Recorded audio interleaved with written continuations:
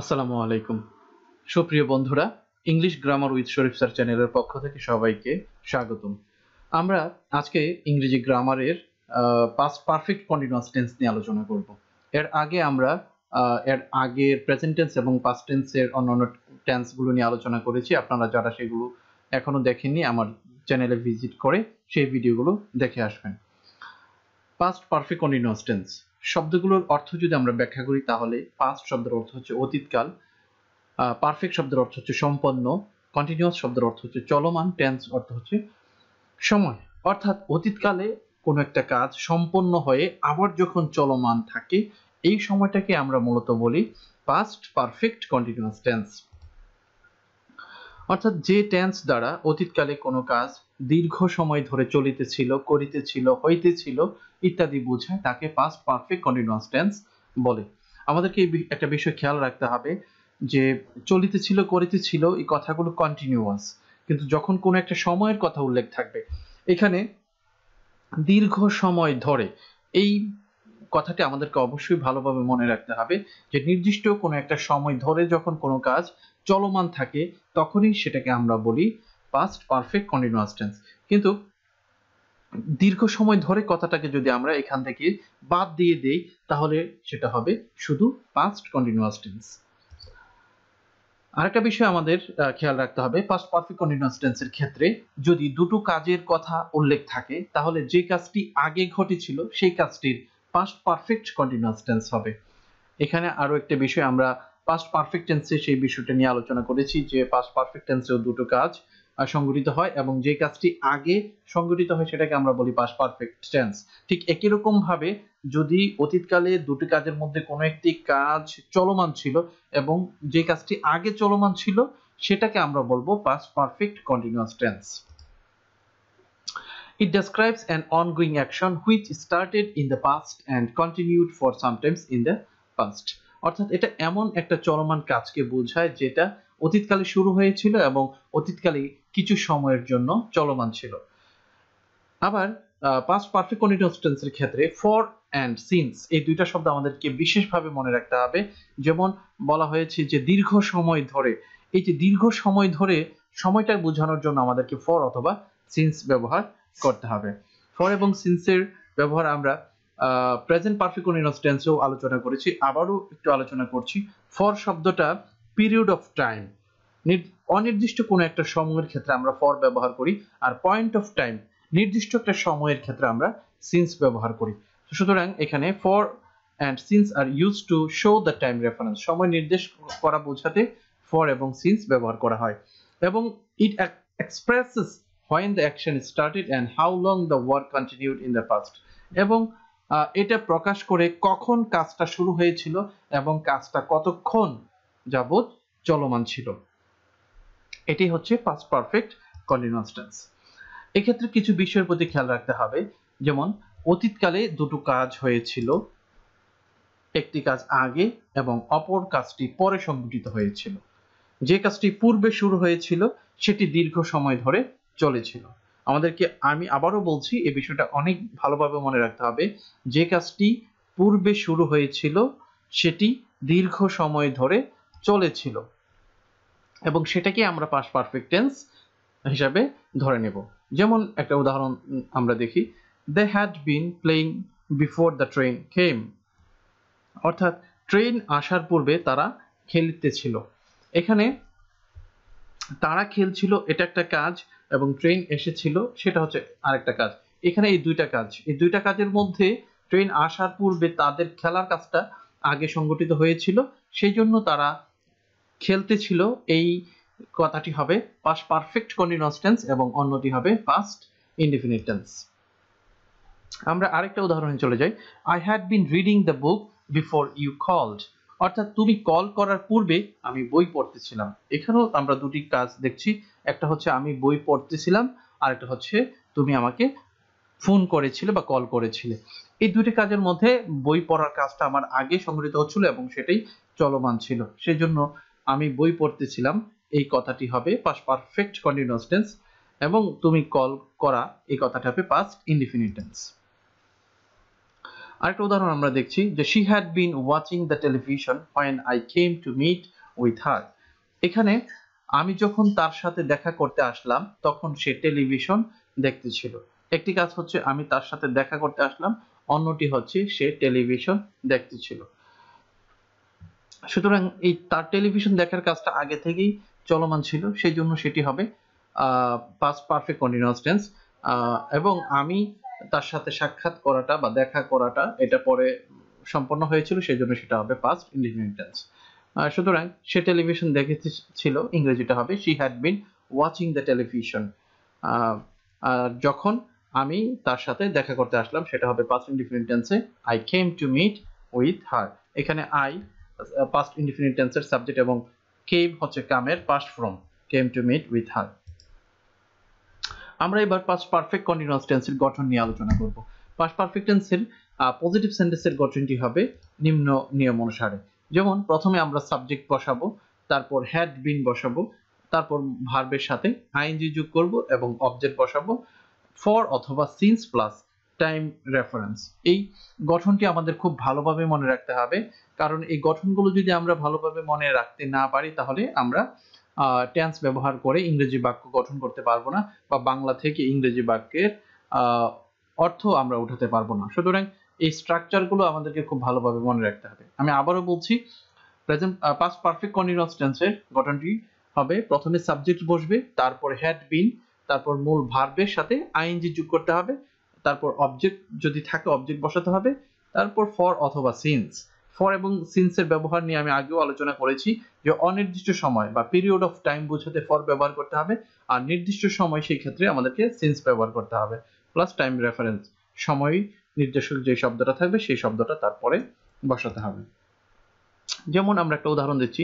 He had been working in an NGO since nineteen অর্থাৎ সে একটি এনজিওতে কাজ করতেছিল সিন্স নাইনটিন উনিশশো সাল থেকে। এখানে উনিশশো সাল, এটা হচ্ছে পয়েন্ট অফ টাইম নির্দিষ্ট একটা সন। সুতরাং এই ক্ষেত্রে আমরা সিন্স ব্যবহার করব যেহেতু এটা নির্দিষ্ট। আর অর্থটা এইভাবে আসবে, উনিশশো, সে উনিশশো সাতানব্বই সাল থেকে একটি এনজিওতে কাজ করতে ছিল। আমরা আরও একটা উদাহরণ দেখি। They had been gossiping for two hours অর্থাৎ তাহারা দুই ঘণ্টা যাবত এখানে ফরের অর্থটা হবে যাবত দুই ঘণ্টা যাবত গসিপ শব্দের অর্থ হচ্ছে গল্প করা। তাহারা দুই ঘণ্টা যাবত গল্প করিতে ছিল এখানে একটা পিরিয়ড অফ টাইম দুই ঘণ্টা সময়। কিন্তু কোন দুই ঘণ্টা এটা নির্দিষ্ট না থাকার কারণে এখানে ফর ব্যবহার করা হয়েছে। আমরা আরেকটা স্ট্রাকচার নিয়ে আলোচনা করব। যেমন এখানে আগে বা যখন বা কখন এই ধরনের কনজাংশন যখন আমরা ব্যবহার করব, ওই ক্ষেত্রে গঠনটা এরকম হবে যে subject plus had been plus ভার্বের সাথে আইএনজি প্লাস অবজেক্ট অর্থাৎ পাস পারফেক্ট টেন্সটা প্রথমে বসাতে হবে, তারপর বিফোর যদি পূর্বে কথা উল্লেখ থাকে, তাহলে আমরা বিফোর ব্যবহার করব। আর যখন বা কখন এরকম অর্থ থাকলে, যখন অর্থ থাকলে সাধারণত আমরা তখন হোয়েন ব্যবহার করব। তারপর সাবজেক্ট প্লাস ভার্বের পাস্ট ফর্ম অর্থাৎ পাস্ট ইনডিফিনিট ব্যবহার করব। এই বিষয়টা আমাদের খেয়াল রাখতে হবে যে বিফোরের পূর্বে পাস্ট পারফেক্ট কন্টিনিউয়াস টেন্স হয় এবং পরের অংশটি পাস্ট ইনডিফিনিট হয়। আমরা একটা উদাহরণ দেই। যেমন he had been playing cricket before the bell rang এখানে সে ক্রিকেট খেলিতেছিল বিফোর দ্য বেল র্যাং ঘণ্টা পড়ার আগে, ঘণ্টা পড়ার আগে বা ঘণ্টা বাজার আগে সে ক্রিকেট খেলিতেছিল আমরা আরেকটা উদাহরণ দেখি। I had been watching the movie before you came অর্থাৎ আমি মুভিটি দেখিতেছিলাম তুমি আসার পূর্বে। অর্থাৎ এই বাক্যটির পুরো অর্থ যদি আমরা ওঠাই তাহলে বলব আমি তুমি আসার পূর্বে আমি মুভিটি দেখিতেছিলাম এবার পাস্ট পারফেক্ট কন্টিনিউয়াস টেন্সের নেগেটিভ সেন্টেন্সের গঠন নিয়ে আমরা আলোচনা করব। নেগেটিভ সেন্টেন্সের ক্ষেত্রে আমরা জানি শুধুমাত্র যে অক্সিলারি ভার্বটা থাকবে, তারপরে একটা নট ব্যবহার করতে হবে। তাহলেই এটা নেগেটিভ হয়ে যাবে আর বাকি সবকিছুই একই রকম ভাবে থাকবে। তাহলে গঠনটি হবে, প্রথমে সাবজেক্ট বসাবো, তারপর had plus not plus been plus ভার্বের সাথে আইনজি যোগ প্লাস অবজেক্ট প্লাস ফর বা সিন্স প্লাস টাইম রেফারেন্স আমরা একটা উদাহরণ দেই, যেমন he had not been working in a non government organisation since nineteen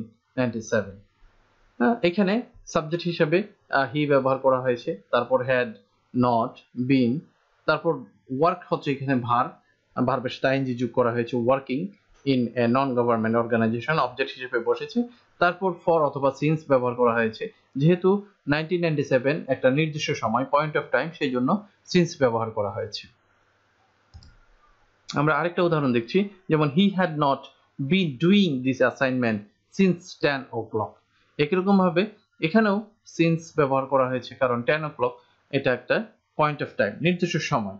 সময়টা কখন সেটা আমরা স্পষ্টভাবে বুঝতে পারি। সেজন্য সিন্স ব্যবহার করা হয়েছে। যদি অনির্দিষ্ট সময় থাকে বা পিরিয়ড অফ টাইম থাকে, তাহলে আমরা সেখানে ফর ব্যবহার করি।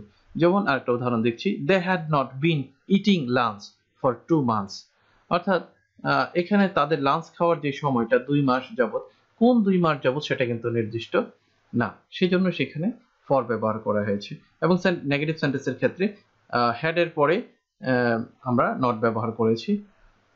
তো সুতরাং আমরা যখনই পাস্ট পারফেক্ট কন্টিনিউয়াস টেন্সকে নেগেটিভ করতে যাব, তখনই যে অক্সিলারি ভার্ব থাকে, সকল সেন্টেন্সের ক্ষেত্রে, সকল টেন্সের ক্ষেত্রে অক্সিলারি ভার্বের পরে একটা নট বসিয়ে দিলে সেটা নেগেটিভ হয়ে যাবে। আশা করি আপনারা খুব সহজেই নেগেটিভ সেন্টেন্স তৈরি করতে পারবেন এবার পাস্ট পারফেক্ট কন্টিনিউয়াস টেন্সের ইন্টারোগেটিভ সেন্টেন্সে রূপান্তর করার নিয়ম নিয়ে একটু আলোচনা করব। এই ক্ষেত্রে সকল ইন্টারোগেটিভ সেন্টেন্সের ক্ষেত্রেই সেন্টেন্সের শুরুতে থাকবে অক্সিলারি ভার্ব যেহেতু পাস্ট পারফেক্ট কন্টিনিউয়াস টেন্সে সাবজেক্টের পরে হ্যাড অক্সিলারি ভার্ব হিসেবে বসে, সুতরাং আমরা হ্যাডটাকে সাবজেক্টের আগে নিয়ে যাব। তাই গঠনটি হবে had plus subject plus been plus ভার্বের সাথে আইএনজি যুগ plus object plus for plus since plus time reference plus interrogation mark বা প্রশ্নবোধক চিহ্ন। এই বিষয়টা অবশ্যই আমাদেরকে খেয়াল রাখতে হবে। ইন্টারগ্রেট সেন্টেন্স গঠন করতে হলে অবশ্যই আমাদেরকে বাক্যের শেষে একটা প্রশ্নবোধক চিহ্ন দিতে হবে এবং সেন্টেন্সের শুরুতে সাবজেক্টের আগে অক্সিলারি ভার্ব ব্যবহার করতে হবে। যেমন একটা উদাহরণ দেওয়া যাক। যেমন had he been walking since morning এখানে হ্যাড সাবজেক্টের আগে বসেছে, তারপর হি সাবজেক্ট হিসেবে বসেছে তারপর বাকি অংশ যেভাবে আছে সেই গঠন অনুযায়ী বসেছে এবং সেন্টেন্সের শেষে একটি প্রশ্নবোধক চিহ্ন বসেছে। অর্থটি কি হবে? অর্থটি হবে had he been walking since morning অর্থাৎ সে কি সকাল থেকে হাঁটিতে ছিল? Had you been helping the poor since two এখানে যেহেতু টু পয়েন্ট অফ টাইম সেই জন্য এখানে সিন্স বসেছে। তার আগের সেন্টেন্স মর্নিং এটাও একটা পয়েন্ট অফ টাইম অর্থাৎ নির্দিষ্ট সময়। সেই জন্য সিন্স ব্যবহার করা হয়েছে। তার অর্থটা হবে কি? তুমি কি দুই হাজার নয় সাল থেকে গরিবদেরকে সাহায্য করিতেছিলে? Had they been playing cricket for six years এখানে সিক্স ইয়ার্স ছয় বছর যাবত এখন কোন ছয় বছর যাবত সেটা নির্দিষ্ট না, এই জন্য ফর ব্যবহার করা হয়েছে। এর অর্থটি আসবে, তাহারা কি ছয় বছর যাবত ক্রিকেট খেলিতেছিল? এবার আমরা নেগেটিভ ইন্টারগ্রেটিভ সেন্টেন্স নিয়ে আলোচনা করব। নেগেটিভ ইন্টারগ্রেটিভ সেন্টেন্সের গঠনটি প্রথমে ইন্টারগ্রেটিভ সেন্টেন্সের গঠনে যেখানে অক্সিলারি ভার্ব সাবজেক্টের আগে থাকবে সেটা থাকবে এবং শুধুমাত্র সাবজেক্টের পরে একটি নট যোগ হয়ে যাবে। আর বাকি সবকিছু একই রকম ভাবে থাকবে। আমরা একটা উদাহরণে চলে যাই। যেমন had he not been working since morning এর আগের সেন্টেন্সটিতে আমরা দেখেছি, যখন ইন্টারভিউ করেছিলাম, তখন সাবজেক্টের পূর্বে হ্যাড শুধুমাত্র হ্যাড ব্যবহার করেছিলাম। এখন সাবজেক্টের পরে একটা নট বসাতে হবে। অথবা আমরা আরেকটা নিয়মে করতে পারি। আমরা নটকে অক্সিলারি ভার্বের সাথেও নিয়ে আসতে পারি। ওই ক্ষেত্রে আমাদেরকে একসাথে দুইটা শব্দকে একসাথে করে ফেলতে হবে, অর্থাৎ ব্রিফ ফর্মে করে ফেলতে হবে। হ্যাডন্ট হয়ে যাবে। হ্যাড নটকে আলাদাভাবে লিখা যাবে না হ্যাডন্ট হিসেবে ব্যবহার করতে হবে। যেমন hadn't you been helping the poor since two thousand nine আরেকটা sentence had they not been playing cricket for six years এর একই রকম ভাবে আমরা হ্যাডন্ট হিসাবে ব্যবহার করতে পারি, অথবা had plus subject plus not ব্যবহার করেও আমরা ইন্টার নেগেটিভ ইন্টারোগেটিভ সেন্টেন্স তৈরি করতে পারি। আমরা এবার কিছু বাংলা বাক্য দেখব এবং তারপর সেগুলোকে ইংরেজিতে রূপান্তর করার চেষ্টা করব এবং কোন টেন্সটি পাস্ট পারফেক্ট কন্টিনিউয়াস টেন্স এবং কোনটি পাস্ট ইনডিফিনিট টেন্স সেটি আমরা যাচাই করব। এখানে সে যখন আসিল, তখন আমি ভাত খাইতেছিলাম। এখানে দুইটি কাজ সম্পন্ন হয়েছে। একটি কাজ হচ্ছে সে যখন আসিল, তখন আমি ভাত খাইতেছিলাম। আমি ভাত খাইতেছিলাম, সেটা হচ্ছে একটি কাজ। সে যখন আসিল, তার আশাটা হচ্ছে আরেকটি কাজ, দুইটা কাজ। এবার, এখানে কোন কাজটি আমার চলমান আছে? আমি ভাত খাইতেছিলাম, এই কাজটি হচ্ছে আমার চলমান। সুতরাং আমি ভাত খাইতেছিলাম, এই অংশটি হবে পাস্ট পারফেক্ট কন্টিনিউয়াস টেন্স আর সে যখন আসিল, সেটা হবে পাস্ট ইনডিফিনিট টেন্স অর্থাৎ আই হ্যাড যেহেতু আমি ভাত খাইতেছিলাম, এটাকে আমরা পাস্ট পারফেক্ট টেন্স করব পাস্ট পারফেক্ট কন্টিনিউয়াস টেন্স করব। সুতরাং পাস্ট পারফেক্ট কন্টিনিউয়াস টেন্সের গঠন অনুযায়ী প্রথমে সাবজেক্ট অর্থাৎ আই এর সাবজেক্ট হচ্ছে আমি, এর সাবজেক্ট হচ্ছে আই তারপর গঠন অনুযায়ী হ্যাড বিন বসবে। তারপর মূল ভার্বের সাথে আইএনজি যোগ, এখানে খাওয়াটা হচ্ছে ভার্ব ইট ইটের সাথে আইএনজি যোগ ইটিং ভাত হচ্ছে অবজেক্ট রাইস তারপর আমরা একটা কনজাংশন ব্যবহার করব। হোয়েন হি এখানে সে হচ্ছে সাবজেক্ট সুতরাং আমরা ব্যবহার করব হি। আর তার আশা, আশার ইংরেজি হচ্ছে কাম। যেহেতু এটা পাঁচ ইনডিফিনিট টেন্স হবে, সেটা হবে কেম অর্থাৎ সে যখন আসিল, তখন আমি ভাত খেতেছিলাম, এর ইংরেজি হবে I had been eating rice when he came আবার আমরা আরেকটা উদাহরণ দেখছি। ঘণ্টা পড়ার পূর্বে আমরা খেলেতেছিলাম। এখানে দুইটা কাজ হচ্ছে, একটা হচ্ছে আমরা খেলেতেছিলাম আর একটা হচ্ছে ঘণ্টা পড়া। এখানে সুস্পষ্ট যে আমরা খেলেতেছিলাম, এই কাজটা হচ্ছে চলমান। আর ঘণ্টা পড়াটা, এটা হবে পাস্ট ইনডিফিনিট টেন্সে আমরা ব্যবহার করব। সুতরাং আমরা খেলেতেছিলাম, এটার ইংরেজি হবে we had been playing before ঘণ্টা পড়া ইংরেজিটা হবে দ্য বেল র্যাং এটা যেহেতু পাস্ট ইনডিফিনিট টেন্স করতে হবে, সুতরাং সাবজেক্ট প্লাস ভার্বে পাস্ট ফর্ম ব্যবহার করতে হবে। ঘণ্টা ইংরেজি হচ্ছে দ্য বেল আর ঘণ্টা পড়া বা বাজা ইংরেজি হচ্ছে রিং, এর পাস্ট ফর্ম হচ্ছে র্যাং আমি যখন তার সাথে দেখা করতে গেলাম তখন সে বই পড়িতেছিল। এখানে আমি তার সাথে দেখা করতে গেলাম একটি সেন্টেন্স এবং সে তখন বই পড়িতেছিল, এটা হচ্ছে আরেকটা সেন্টেন্স এক্ষেত্রে সে বই পড়িতেছিল, এটি হচ্ছে চলমান কাজ বোঝাচ্ছে, সুতরাং এই অংশটি হবে পাস্ট পারফেক্ট কন্টিনিউয়াস টেন্স এবং আমি তার সাথে দেখা করতে গেলাম এই অংশটা হবে পাস্ট ইনডিফিনিট টেন্স তাহলে সে বই পড়িতেছিল ইংরেজিটা হবে হি হ্যাড বিন রিডিং বুক হয় আমি তার সাথে দেখা করতে গেলাম, এই অংশটা হবে পাস্ট ইনডিফিনিট টেন্স হয় I went to meet with him এখানে দেখা করতে যাওয়া, এখানে করতে যাওয়া, সাক্ষাৎ করা বা দেখা করতে এটা ইনফিনিটিভ হিসেবে ব্যবহার করা হয়েছে। সুতরাং ইনফিনিটিভের ক্ষেত্রে টু প্লাস ভার্ব বসাতে হয়। এখানে একটু ভুল হয়ে গেছে। মিট শব্দটা হবে এম ডাবল ইটি বানানটা একটু ভুল আছে, আপনারা আশা করি সে বানানটা ঠিক করে লিখবেন। I went to meet M double E T meet with him ব্যবহার করতে হবে। আমরা আরও কয়েকটা উদাহরণ দেখি। যেমন, তুমি যখন তোমার বন্ধুর বাড়িতে গিয়েছিলে তখন তোমার মা তোমার জন্য অপেক্ষা করে করিতেছিল এখানে তোমার মা তোমার জন্য অপেক্ষা করে করিতেছিল এটা হবে পাস্ট পারফেক্ট টেন্স এবং তুমি যখন তোমার বন্ধুর বাড়িতে গিয়েছিলে, এই অংশটি হবে পাস্ট ইনডিফিনিট টেন্স এটাকে যখন আমরা ইংরেজিতে রূপান্তর করব, তাহলে প্রথমেই পাস্ট পারফেক্ট কন্টিনিউয়াস টেন্সে আমাদেরকে লিখতে হবে। সেটা হবে, তোমার মা তোমার জন্য অপেক্ষা করতেছিল your mother had been your mother হচ্ছে সাবজেক্ট তারপর গঠন অনুযায়ী হ্যাড বিন ব্যবহার করতে হবে। তারপর মূল ভার্বের সাথে আইএনজি ব্যবহার করতে হবে। এখানে মূল ভার্ব হচ্ছে অপেক্ষা করা। অপেক্ষা করা ইংরেজি হচ্ছে ওয়েট ওয়েটের সাথে আইএনজি যুক্ত হলো waiting your mother had been waiting for you তোমার জন্য। হোয়েন তুমি তোমার বন্ধুর বাড়িতে গিয়েছিলে, যখন তুমি তোমার বন্ধুর বাড়িতে গিয়েছিলে you went to your friend's home তুমি যখন তোমার বন্ধুর বাড়িতে গিয়েছিলে, তখন তোমার মা তোমার সাথে দেখা করতে এসেছিল। এইভাবে তোমার মা তোমার জন্য অপেক্ষা করেছিল, এই অর্থটা। আসবে। আমরা আরেকটি উদাহরণ দেখি। সে যখন খেলা দেখছিল, তখন আমি ঘুমাইতেছিলাম।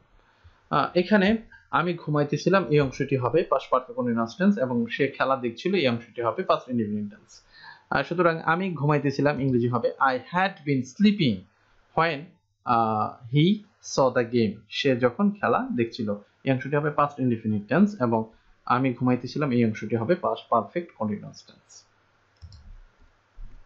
তো আশা করি আপনাদের পাস্ট পারফেক্ট কন্টিনিউয়াস টেন্স নিয়ে আর কোনো সমস্যা থাকবে না। আপনারা প্রচুর পরিমাণে পাস্ট পারফেক্ট কন্টিনিউয়াস টেন্স ব্যবহার করতে পারবেন সেন্টেন্স তৈরি করতে পারবেন এবং বাংলা বাক্য থেকে ইংরেজিতে অনুবাদ করতে পারবেন কিংবা ইংরেজি থেকে বাংলা অনুবাদ করতে পারবেন।